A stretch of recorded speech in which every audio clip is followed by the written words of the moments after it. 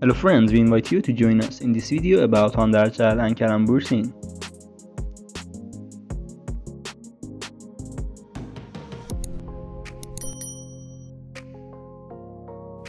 Kerem Bürsin published a new video of himself in his Instagram story.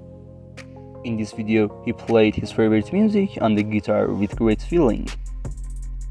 Many fans believe that he dedicated this music to Hande and there is a beautiful love in this music.